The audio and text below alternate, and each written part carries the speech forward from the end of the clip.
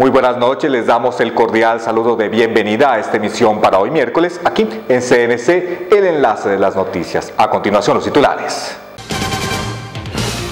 Por cuarta vez autoridades lograron la captura del peligroso delincuente conocido como alias Bachilo. En Consejo Municipal se debatió el polémico y delicado tema de la instalación de torres de energía en la parte alta de Palmira. Secretaría de Hacienda Municipal inició procesos de embargo a deudores morosos de impuestos, por ello invitan a que palmiranos se pongan al día. Hospital Raúl Orejuela Bueno sigue realizando jornadas de promoción en temas de salud y prevención de enfermedades. Donald Trump construyó parte de su fortuna a través del fraude fiscal. Y en los deportes, Santa Fe eliminó a Millonarios y ahora enfrentará al Deportivo Cali por la Sudamericana. Mucha atención que por cuarta vez autoridades logran la captura de Carlos Andrés Caicedo Moreno, conocido con el alias de Bachilo, líder de la hoy desarticulada banda de los 300 y sindicado por varios delitos. Sí, la Policía Nacional quiere informar a la opinión pública la actividad operacional que estamos realizando aquí en el municipio de Palmira. Y en la lucha frontal el que la hace la paga seguridad con legalidad y las actividades en coordinación con nuestra Fiscalía General de la Nación y el apoyo incondicional de la Administración Municipal con todas las herramientas tecnológicas como son las cámaras de seguridad ciudadana que están instaladas, logramos dar un impacto hacia las bandas delincuenciales que operan y especialmente con el delincuente alias Bachilo y todos sus integrantes. En esta oportunidad con la Fiscalía se logró hacer la captura de 13 personas en 25 allanamientos. Mire, cuarta vez en la administración del doctor Jairo Ortega que Policía Nacional y Fiscalía capturan a este sujeto a Bachilo con su combo. Esta es la cuarta vez y esperamos que sea la vencida. Y esperamos que en esa línea gris de la aplicación de la justicia, esta vez sí sea de verdad que ese sujeto termine donde tiene que terminar. Unas sinceras felicitaciones a la Policía Nacional, a la Fiscalía General de la Nación y a esa articulación que tenemos en nuestro municipio para lograr reducir los índices de criminalidad, afectar los focos de inseguridad y sobre todo ir combatiendo estas estructuras criminales que han querido venirse a aposentar en nuestro municipio. No más con ese cuento. Cuarta vez, esperamos que sea la vencida. El Consejo Municipal de Palmira convocó y llevó a cabo un debate para discutir el polémico tema relacionado con el proyecto de instalación de torres de alta tensión en la parte alta del municipio por parte del Grupo de Energía de Bogotá. Concejales se mostraron en contra de este propósito que el Grupo de Energía de Bogotá insiste en seguir ejecutando. La Administración Municipal a través del Consejo convocó a una sesión dedicada de forma exclusiva a tratar el tema relacionado con el proyecto de la instalación de torres de energía en la parte alta del municipio de Palmira. Al respecto, los concejales palmiranos defienden la posición tanto de pobladores como de expertos en asuntos ambientales de oponerse a que este proyecto siga en ejecución. Sobre ello habló Juan Pablo Urrea, concejal del municipio de Palmira. Queremos decir que la posición nuestra como Consejo Municipal y personalmente como Juan Pablo Urrea, concejal del municipio de Palmira, es no aprobar y no apoyar este tipo de proyectos que van en contravía con nuestros recursos naturales eh, porque debemos prevenirlos, preservarlos. Y esto precisamente, este tipo de proyectos van en contra de nuestros recursos naturales, de nuestra salud pública y aquí lo hemos hecho saber el día de hoy en este debate posible que el gerente en el, año pasado se comprometa a comunicarnos de manera directa el resultado del estudio de impacto ambiental antes de solicitar la licencia ante la ANLA, la Autoridad Nacional de Licencias Ambientales, y eh, no lo haga, sino que directamente fue ante la ANLA, ah, hizo la solicitud y si nosotros hoy como Consejo Municipal no citamos este debate, pues no nos damos cuenta en qué va, en qué va y va muy adelantado y es la preocupación que tenemos y que manifestamos el día de hoy. En el marco de este debate participaron palmiranos preocupados por los asuntos ambientales que argumentan el riesgo que existe si se continúa con la instalación de las torres y demás infraestructuras a ser instaladas por el Grupo Energía de Bogotá. José Salcedo, miembro activo del colectivo Pro Defensa del Territorio del Agua, expuso varios de estos argumentos y su balance tras participar del debate en el Consejo. El balance en general es bueno, pero no es satisfactorio, en el sentido de que hoy la empresa del Grupo Energías de Bogotá simplemente ha seguido la misma línea de evadir eh, frente a la problemática de las torres de alta tensión en Palmira, que va a afectar a los ríos y a nuestras fuentes hídricas. quedamos muy preocupados, estamos llamando a toda la comunidad a la consulta popular para defender nuestro territorio. O sea, es positivo porque eh, en el sentido de que la administración eh, muestra disposición, eh, por lo menos eso es lo que manifiesta, de no estar de acuerdo con el proyecto, pero esta empresa tiene un manejo bastante complicado y bastante ajeno en información a la misma administración y a la misma comunidad. La invitación que hoy nosotros hacemos como comunidad desde, el colectivo por defensa del territorio del agua es a participar, a enterarnos de las situaciones que están eh, hoy atentando contra nuestro medio ambiente y eh, que estén pendientes de toda la información que nosotros estamos colgando en redes sociales eh, y los informes que estamos generando después de este tipo de sesiones para hacer el llamado a la consulta popular. A pesar de que la preocupación sigue latente entre la comunidad y sus representantes, el debate permitió que se pusiera de manifiesto que la administración municipal ha seguido de cerca este caso y sigue firme en su propósito de velar por la comunidad y evitar a toda costa que se ocasione un daño ambiental como consecuencia de este proyecto en ejecución por parte del Grupo Energía de Bogotá. La Fiscalía halla nuevos elementos materiales probatorios en vehículos incautados a la banda delincuencial Los Quicos en el Cauca. Los cuatro automotores tenían caletas hidráulicas con un complejo sistema eléctrico donde se hallaron además trazas de estupefacientes.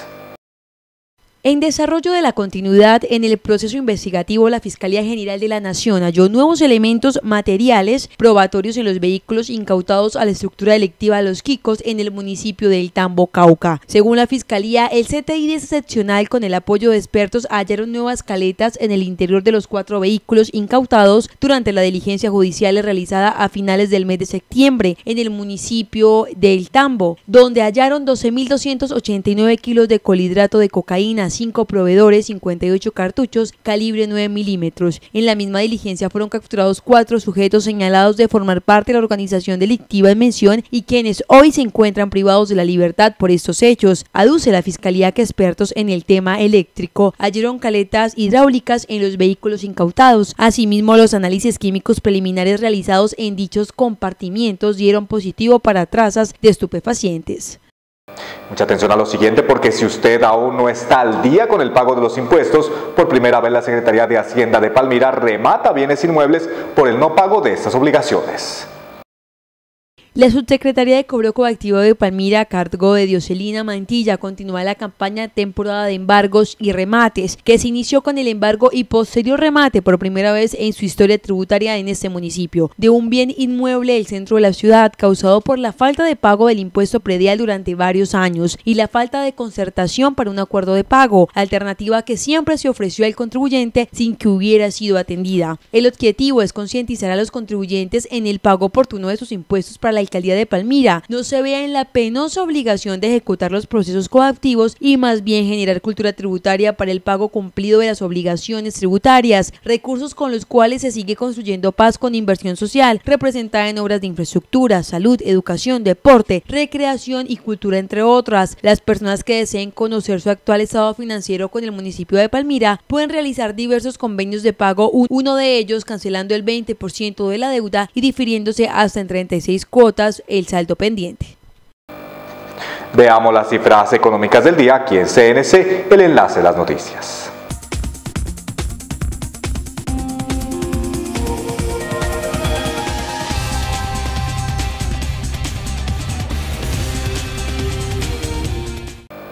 Y es momento de presentarles la siguiente cápsula informativa con información de su interés a nombre de su cable operador, Legon Telecomunicaciones.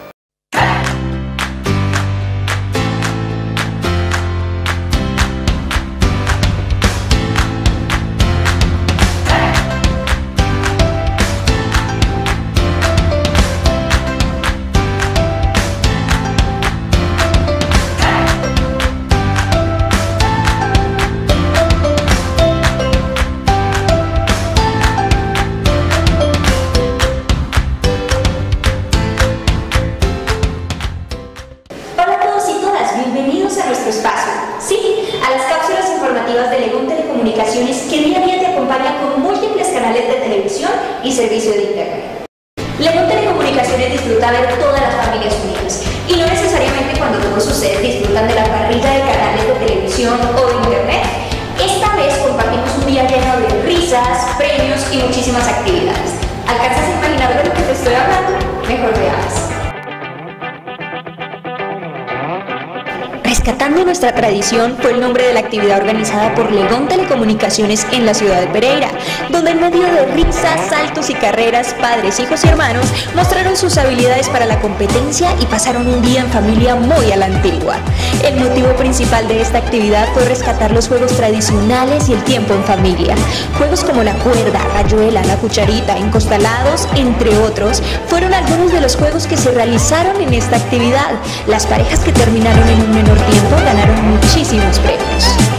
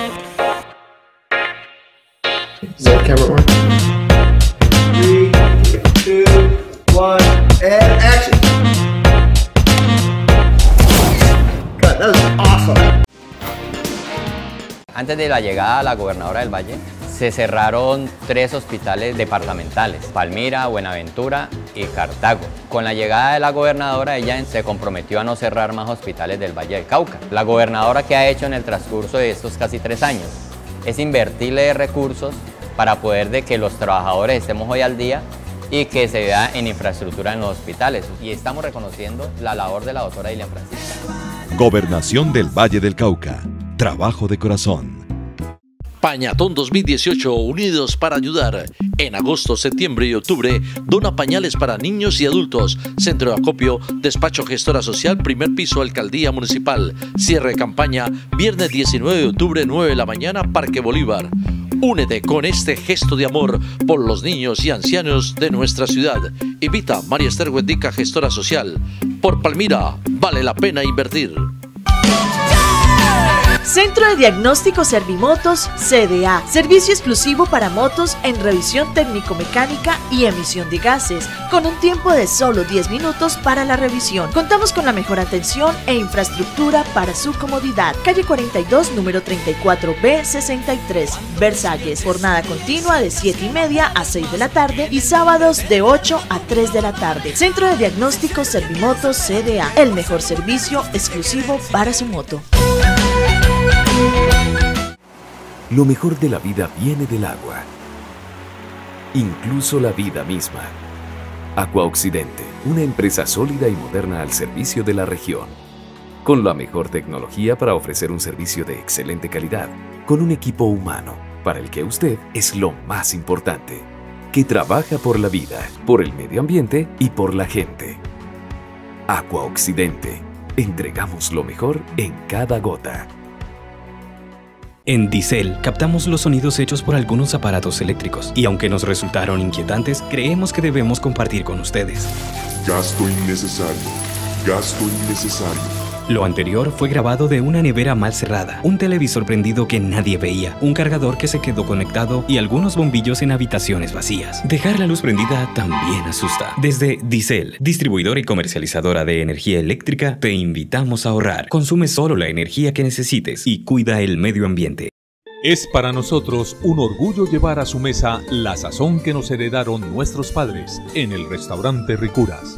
Son más de 40 años de tradición sirviendo los mejores platos colombianos a Palmira, Valle del Cauca y visitantes de todo el país. En el restaurante Ricuras puede disfrutar de toda la culinaria criolla a la carta, además de nuestro exquisito servicio ejecutivo.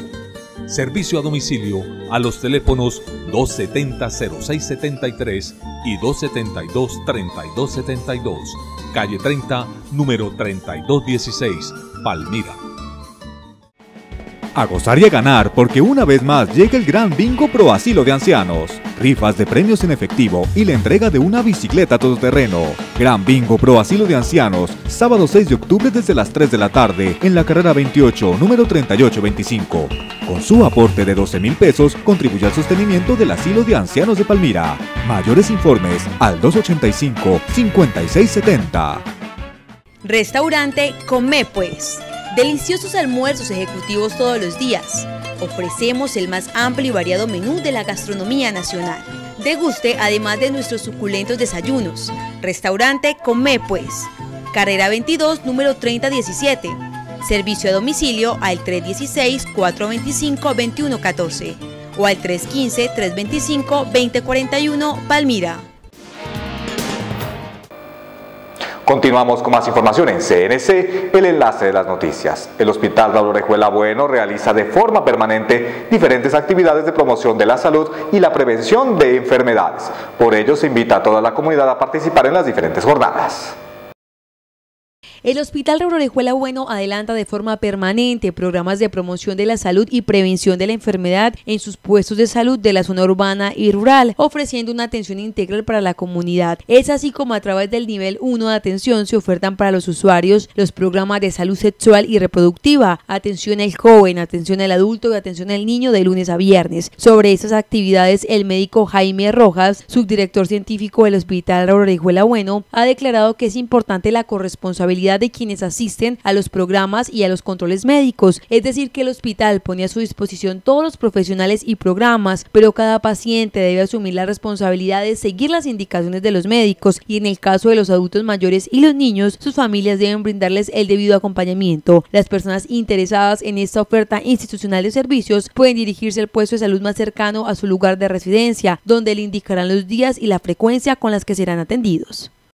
La Policía Nacional y su unidad del Gaule encontraron los restos óseos del joven José Alberto Hurtado Montaño, a quien su familia reportó como desaparecido después de que lo citaran por última vez en el municipio del Cerrito.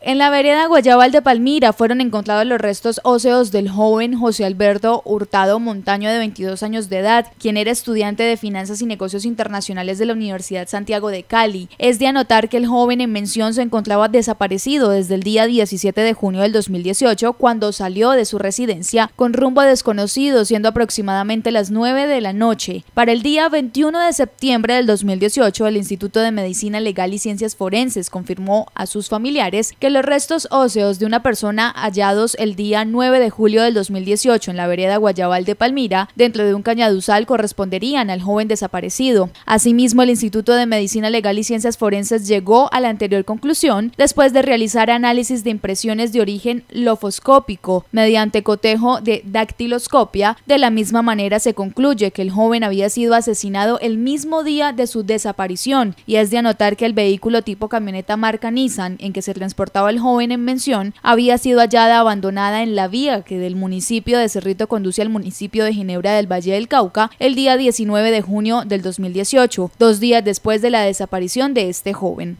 Estos hechos son materia de investigación de las autoridades para poder esclarecer el motivo del homicidio del joven José Alberto. Desde la Alcaldía Municipal de Palmira se tendrá en cuenta una consideración a quien brinde información que pueda servir para esclarecer este lamentable hecho.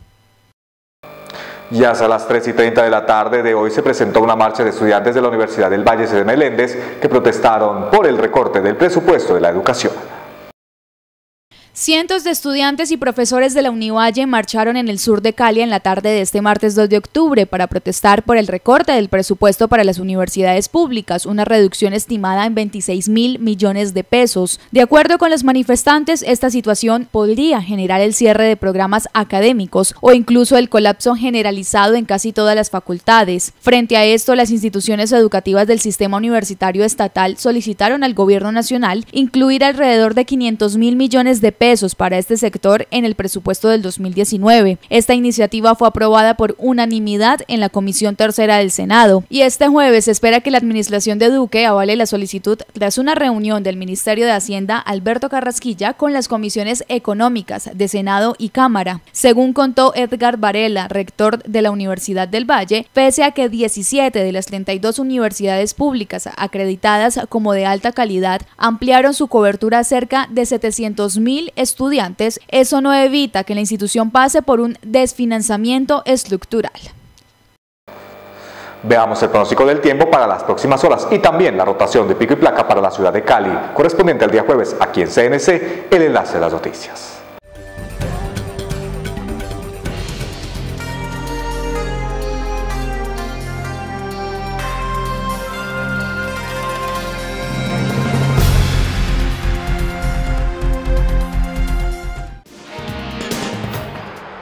Gracias, Oscar. Hemos llegado a la información internacional en CNC Noticias. Le damos la vuelta al mundo en tres escalas. Hoy iniciamos en Indonesia, en donde la cifra de muertos no para y alcanza una cifra parcial de cerca de 1.400 víctimas como consecuencia del terremoto y tsunami del pasado fin de semana.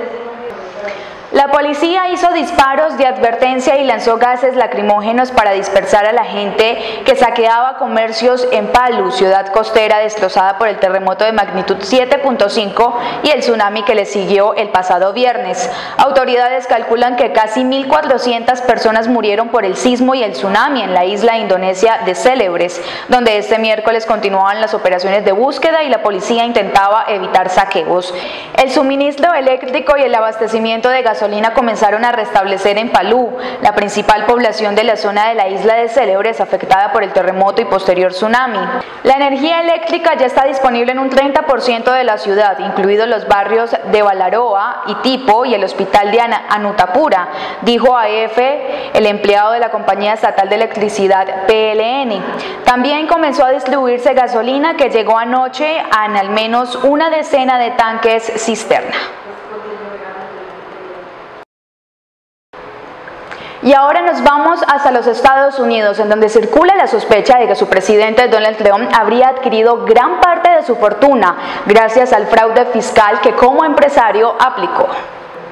Según el diario The New York Times, el magnate no amasó su fortuna él mismo, como siempre aseguró, sino que heredó más de 400 millones de dólares de sus padres, gran parte a través de esquemas de evasión de impuestos. El periódico que ha analizado un amplio archivo de declaraciones de impuestos y otros documentos destaca además que a lo largo de los años Trump recibió de su padre el equivalente a más de 413 millones de dólares, lo que contradice sus repetidas afirmaciones asegurando ser un multimillonario hecho a mismo. Según el medio, gran parte de ese dinero llegó al mandatario gracias a que éste ayudó a sus padres a evitar impuestos.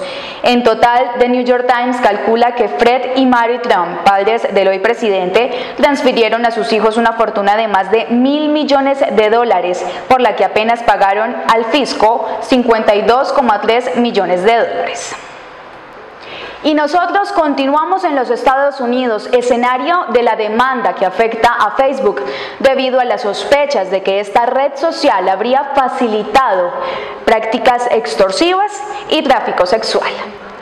La demanda interpuesta en Texas por una mujer víctima de tráfico sexual señala que la red social ofrece a los tratantes un medio sin restricciones para acosar, explotar, reclutar, preparar y extorsionar a menores para el comercio sexual. Este procedimiento judicial pide al menos un millón de dólares como indemnización a nombres de una mujer identificada como Jane Doe, quien tenía 15 años cuando dice que fue agredida sexualmente en el 2012 después de ser encontrada y reclutada por un tratante de blancas en Facebook. Facebook no respondió de inmediato a un correo en busca de comentarios el martes. El abogado para VakePage.com, con sede en Dallas, no respondió de forma inmediata a una llamada. La querella surge luego de que el presidente Donald Trump promulgó en abril una nueva ley dirigida a reducir el tráfico sexual. Así nosotros terminamos la información internacional. Vamos a una pequeña pausa comercial y al regreso sigue toda la actualidad deportiva en CNC Noticias. Feliz noche. Soy Julie Sánchez. Un accidente me provocó quemaduras en manos y rostro. He tenido dos cirugías reconstructivas. Mi motivación es lograr llevar una vida normal y con la ayuda de Dios y del HV voy a lograrlo. Desde la gobernación están salvando al hospital y el hospital sigue salvando vidas. Trabajamos de corazón para salvar el HV. Gobernación del Valle del Cauca.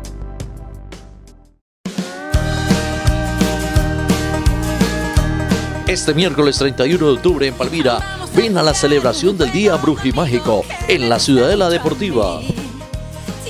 Padre de familia, asiste con tu niño y disfruta de actividades lúdicas y recreativas desde las 2 de la tarde. Entrada libre. Invita a Jairo Ortega Zamoría, alcalde, María Esther Huendica, gestora social. Palmira, con inversión social, construimos paz. La mano izquierda va adelante y la derecha Lo mejor de la vida viene del agua, incluso la vida misma. Aqua Occidente, una empresa sólida y moderna al servicio de la región, con la mejor tecnología para ofrecer un servicio de excelente calidad, con un equipo humano para el que usted es lo más importante, que trabaja por la vida, por el medio ambiente y por la gente. Aqua Occidente, entregamos lo mejor en cada gota. Legón Telecomunicaciones, tu mundo sin fronteras, le sigue cumpliendo sus usuarios. Entregamos premios y regalos especiales a varios de nuestros suscriptores. Si aún no ha ganado, lo invitamos a que siga al día con el pago de sus facturas y podrá seguir participando para próximos sorteos. Legón Telecomunicaciones, tu mundo sin fronteras.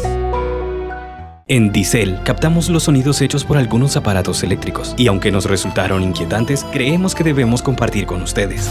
Gasto innecesario. Gasto innecesario.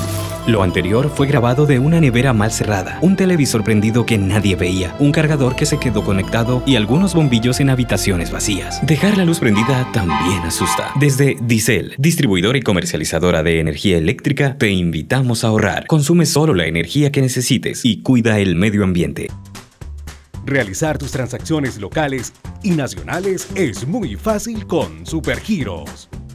Estamos presentes en cada rincón de Colombia y contamos con amplios horarios para facilitarte la vida. Tus giros son más cómodos, rápidos y seguros, en solo cuestión de segundos. ¿Para qué giros? Cuando hay supergiros. Restaurante Come Pues.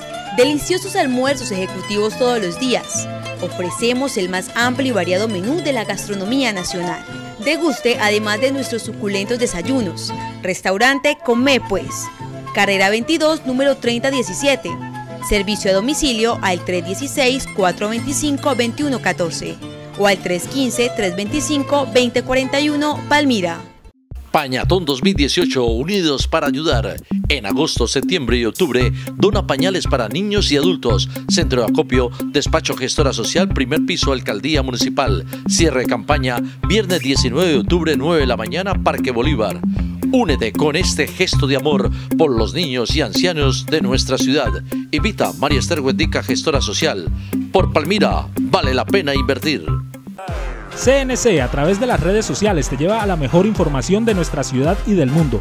Síguenos en Instagram, Facebook, Twitter y YouTube o mira nuestra señal en vivo por www.masificar.com.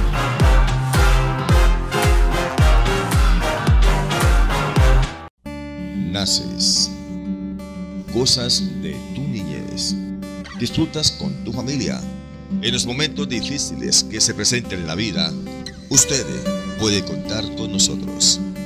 Funeraria Palomino, salas de velación, pensión SOAT y pensionados del Seguro Social. Carrera 28, número 4038, teléfono 272-8046. Funeraria Palomino, desde 1934 al servicio de los palmiranos.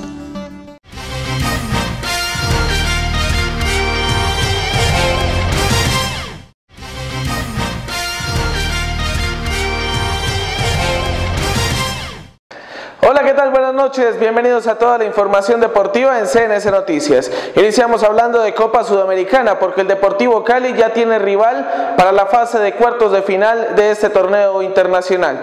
Ayer en el Estadio Nemesio Camacho del Campín de Bogotá, Independiente Santa Fe se convirtió en el siguiente clasificado a la siguiente ronda, luego de vencer en la tanda de los penales a Millonarios.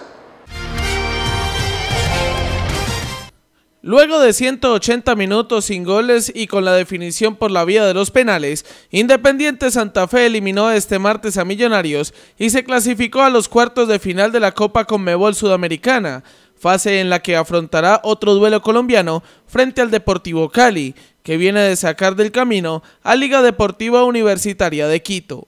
El inicio del clásico 314 fue intenso. En los primeros minutos los dos equipos quisieron jugar y tratar bien el balón en búsqueda del gol tempranero en el arco contrario. Sobre todo los cardenales que rápidamente se acercaron con Wilson Morelo, pero el atacante rojo no estuvo fino. Primero de cabeza y luego de derecha, siempre dentro del área, pero el balón se fue desviado del pórtico defendido por Wilker Fariñez. Para el segundo tiempo, de nuevo las acciones tuvieron presencia sobre las áreas. El primero fue Millonarios con un centro de Andrés Román que conectó en el borde del área Auche y de primera exigió a Robinson Zapata con una gran volea que significó la más clara de los locales en el encuentro. Sin mayores oportunidades netas de anotar, más allá del remate de Diego Guastavino que forzó la volada de Wilker Fariñez, todo se fue a la definición de los penales en los que Gabriel Auche erró su penal y Robinson Zapata marcó su gol para darle la clasificación a Independiente Santa Fe. Ya conocemos que el conjunto cardenal será el rival de los cuartos de final del Deportivo Cali en la Copa Sudamericana. Ahora hablamos de la Copa Conmebol Libertadores, porque los colombianos Rafael Santos Borré y Juan Fernando Quintero son las grandes figuras del conjunto millonario que venció tres goles por uno a Independiente en Argentina y se convirtieron en semifinalistas de este torneo continental. River Plate de Argentina venció este martes a Independiente, tres goles por uno en el Estadio Monumental de Buenos Aires, con goles de Ignacio Escoco y los colombianos Juan Fernando Quintero y Rafael Santos Borré, y se clasificó de esta manera para las semifinales de la Copa Libertadores de América. El millonario que en el partido de ida de los cuartos de final empató 0 por 0 con el rojo, espera ahora en su duelo de semifinales a Gremio de Brasil. Escoco abrió el marcador a los 47 minutos de juego tras una gran jugada de Santos Borré. Silvio Romero igualó a los 59 tras un error del portero Franco Armani y con este resultado Independiente avanzaba de ronda por la ventaja que otorga el gol de visitante. Sin embargo, Juan Fernando Quintero, que había ingresado poco antes, anotó el 2 por 1 a los 68 minutos con una exquisita definición desde fuera del área y la cereza en el postre la pondría Rafael Santos Borré, quien sentenció el partido al convertir un gol monumental para el 3 por 1 a los 84 minutos del juego por los cuartos de final de la Copa Conmebol Libertadores. Buen momento viven los muchachos eh, colombianos en el conjunto dirigido por Marcelo Gallardo. Ahora hablamos de ciclismo porque Alejandro Valverde, luego de las declaraciones de Oscar Sevilla, sería la gran figura de la Colombia Oro y Paz 2019 que se correrá en el próximo mes de febrero en territorio antioqueño.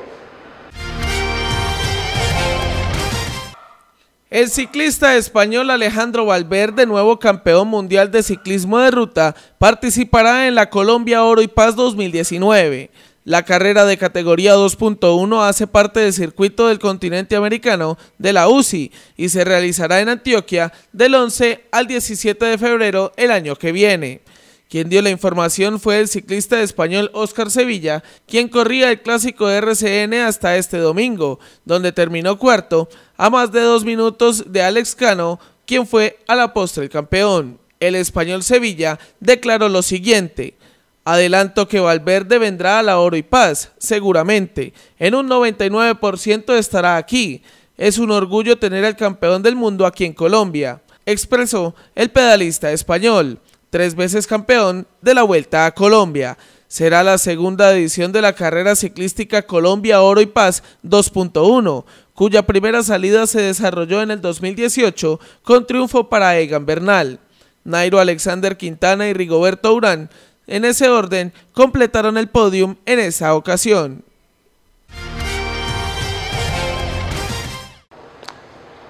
El día de ayer el equipo de Orso Marzo Palmira estuvo acompañando a los familiares y amigos de Leider Ortiz, ex compañero de Orso Marzo y quien fue asesinado en los últimos días. Y hoy se dedicaron en su sede de entrenamiento en el corregimiento del Bolo, aquí en la ciudad de Palmira, de cara al compromiso de este fin de semana frente a Cortuluá en el Estadio Francisco Rivera Escobar, ya por cumplir en el torneo del AVE.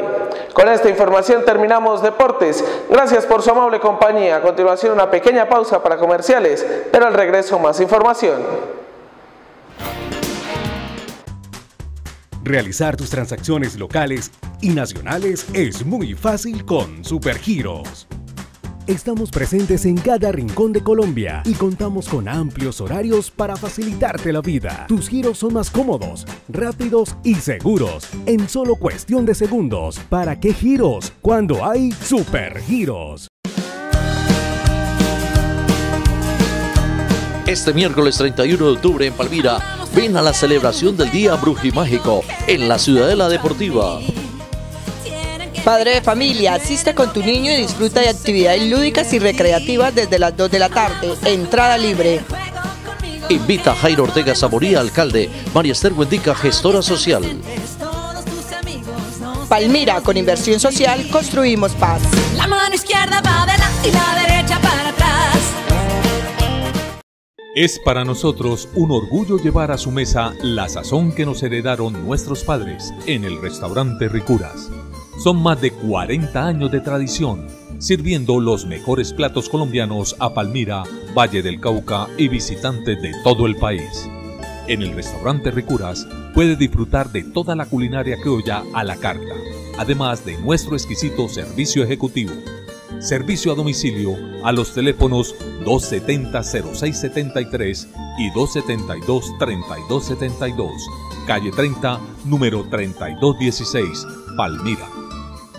Antes de la llegada a la gobernadora del Valle, se cerraron tres hospitales departamentales, Palmira, Buenaventura y Cartago. Con la llegada de la gobernadora, ella se comprometió a no cerrar más hospitales del Valle del Cauca. La gobernadora que ha hecho en el transcurso de estos casi tres años es invertirle recursos para poder de que los trabajadores estemos hoy al día y que se vea en infraestructura en los hospitales. Y estamos reconociendo la labor de la doctora Ilia Francisca.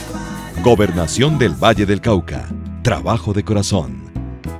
En CNC Noticias cambiamos nuestra manera de contar los acontecimientos para hacer el enlace de las noticias. CNC Noticias, lunes a viernes, 8 de la noche, por CNC, tu canal a gozar y a ganar porque una vez más llega el Gran Bingo Pro Asilo de Ancianos. Rifas de premios en efectivo y la entrega de una bicicleta todoterreno. Gran Bingo Pro Asilo de Ancianos, sábado 6 de octubre desde las 3 de la tarde en la carrera 28, número 3825. Con su aporte de 12 mil pesos, contribuye al sostenimiento del Asilo de Ancianos de Palmira.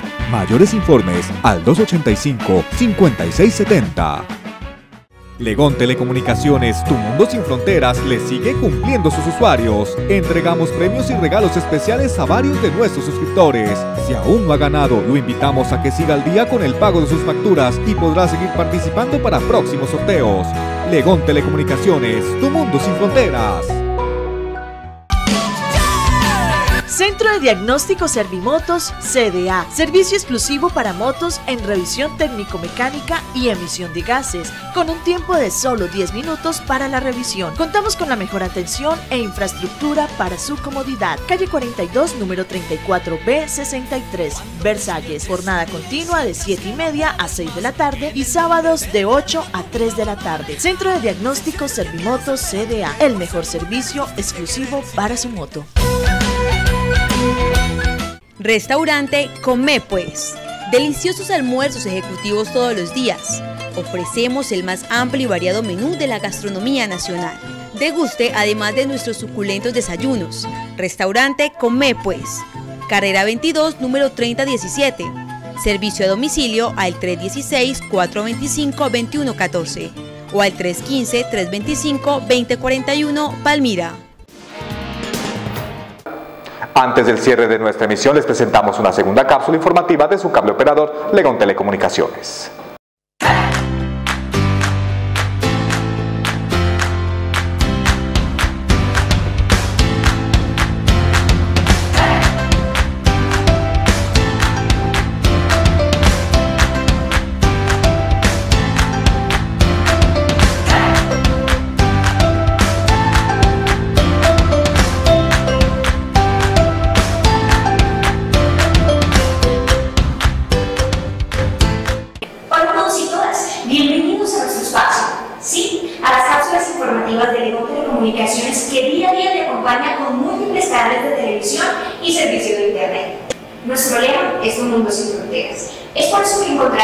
Tenemos límites para contarte noticias sobre temas variados que nos unen. Hemos hablado de niños, de actividades, pero esta vez los protagonistas de la pasarela serán nuestros abuelitos. Sí, una pasarela llena de emociones donde el adulto mayor fue coronado.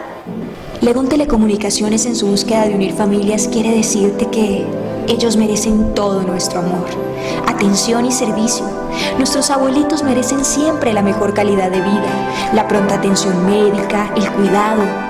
No es tan difícil escucharlos, aprender de ellos, valorarlos y reír con ellos. También tienen sentido del humor, porque son más que nuestros ancianos, son miles de historias y experiencias, y qué bueno es compartir con ellos como fue la ocasión en la ciudad de Pereira donde encontramos que en el marco de las fiestas de la cosecha se realizó un reinado del adulto mayor, donde risas, premios, amor y atención fue lo que recibieron nuestros abuelitos.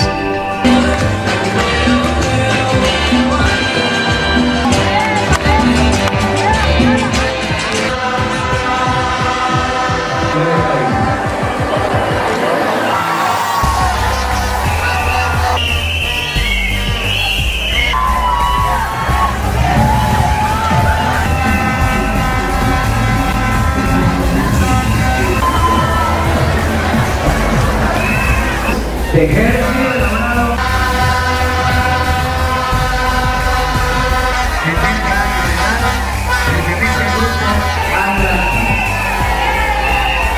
grupo Las Cabañuelas, 81 años de edad.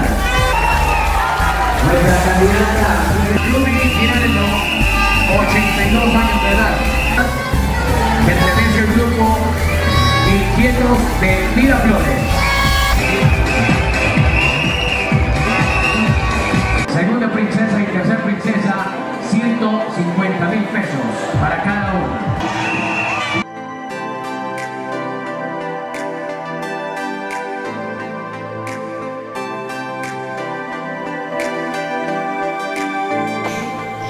Esas causas que nos unen y no que nos dividen. Le de comunicaciones a través de toda buena obra.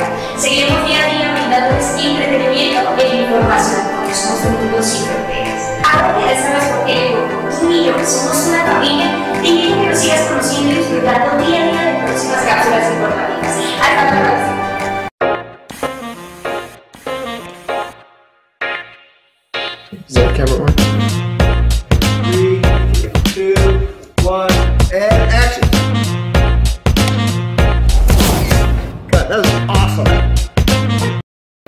Y es momento de darle paso al siguiente resumen con los hechos más importantes del día.